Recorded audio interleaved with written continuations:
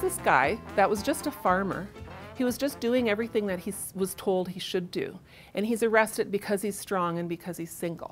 Із приводу запланованого офіційного відкриття музею в місті Бенд цього літа про інтернування українців і інших канадських іммігрантів під час Першої світової війни. Представники комемораційного фонду влаштували в місцевій бібліотеці цікаву зустріч із авторкою Маршою Скрипух, яка видала дві книжки власне на цю болючу історичну тему. Today I'm talking about the real story behind my books, Silver Threads and Prisoners in the Promised Land. My grandfather was interned. This is a picture of my grandfather right here. This is my grandfather and my grandmother, and this is when he was 26 years old, but he was interned when he was a teenager. And um, you know, the thing is, is that a lot of people say, you know, the internment happened almost 100 years ago. It doesn't matter. Like, let's get on with you know something that's more relevant. But it is relevant because he was he was a young man who had his life ruined, and what happened to my grandfather actually resonated through the generations, and that's what I'm going to talk about. Is that how even the my grandfather's internment has had an effect on my life still. Silver Threads was the very first book that I ever wrote, and it was published in 1996. And it was actually the very first work of fiction to ever have been published about the internment of Ukrainians in World War I. And in this book, um, I had my grandfather and grandmother come together, and um, it was my wish that my grandfather had been married and had been able to keep his farm. Prisoners in the Promised Land. This book was um, published in 2007, and it takes place in Spirit Lake internment camp. And it's about the uh, it's about a 12-year-old girl who was interned. And as you know, almost the entire um, uh, church community of St. Michael's uh, Church in Montreal was interned. Babies, women, children babies who were born in Canada, and of course the men. And so this is day to day life of what it was like for a young girl who was interned. Письменниця Марша Скрипух цікаво оповідала, що ці книжки бібліофічного характеру і відзеркалюють психічний біль її діда, який особисто пережив ці моменти сумної канадської історії. It was a deep, dark secret in our family what happened to my grandfather. I knew from my grandfather that he had been put in prison by Canada for something he didn't do. That's all I knew about it. I also knew that he had a really beautiful farm uh, around Hairy Hill, Willingdon area, and that was prime um, land. It was prime farmland. But he was a single man, and when World War I started, uh, he did register like everybody was supposed to.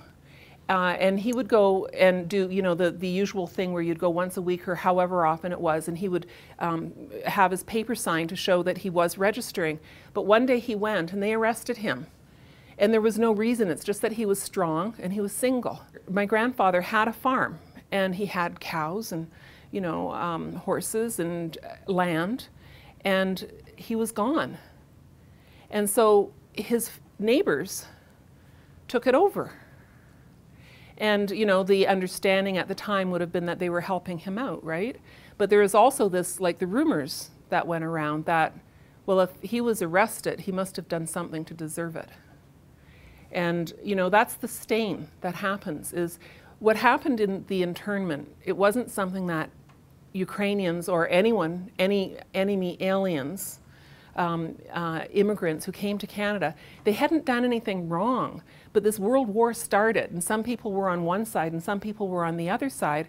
And depending on where you happened to come from, all of a sudden you were considered a dirty foreigner and you were to be thrown in prison. На цій зустрічі із письменницею були люди різних походжень із різних частин Канади, яких батьки і племінники також пережили ці моменти інтернування. І вони радо ділилися своїми переживаннями і позитивно сприймали ініціативу письменниці писати про цю маловідому тему, яка торкає поняття расизму того часу і сьогоднішнього дня. I, I, as an educator, am going into classrooms and reading your stories and telling and sharing them, but, but even as e meeting other educators, they're saying, what? This happened? They, well, there's this disbelief that, that this didn't happen, surely not in Canada. And so one of the very first things I do is I stand up and I say, now, are we two different races? Now, my Africans and Asians and Somalis and East Indians, they don't see a difference. No, they don't. And I think a lot of people have trouble understanding just how narrow the definition of race was at that time. I am Ukrainian, but we didn't say we want to be white. We said that, okay, this lady with blonde hair, she's probably Anglo-Saxon rather than white. differentiate, differentiate the, the French Canadian from what the Quebecois from Mhm. the rest of Canada. Mhm. Uh, who was white? no matter what an individual person's prejudices might be, it won't have traction if it's not popular. And so, like, I just don't believe in any any stretch of the imagination an Eichmann in this. Uh, it, it's all of us, and we're all capable of it. We're all capable of it right now. I hate to say, but I don't think that we're all that tolerant of a society.